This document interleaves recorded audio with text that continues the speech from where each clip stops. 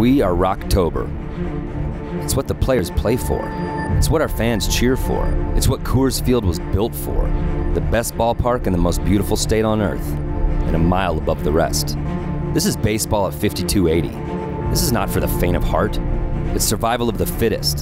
The players that succeed here are tough, resilient, and relentless.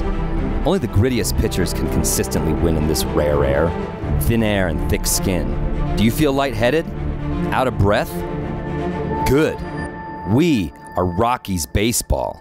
Strike three call! The Rockies are going to the postseason! We live in the breathless anticipation of every play, every pitch, every win. Only we live in mountain time. Only we wear purple. And only we play this great game a mile high.